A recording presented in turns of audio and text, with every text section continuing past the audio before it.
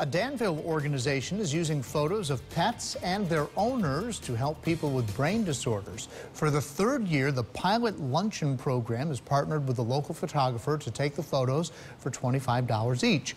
The luncheon program is part of the worldwide Pilot International program, which raises money to help people dealing with brain disorders. The photos will be displayed at the Danville YMCA in October. Then people will vote on the photos by donating money to the one that they like the most. And each person gets to keep their photos after the contest.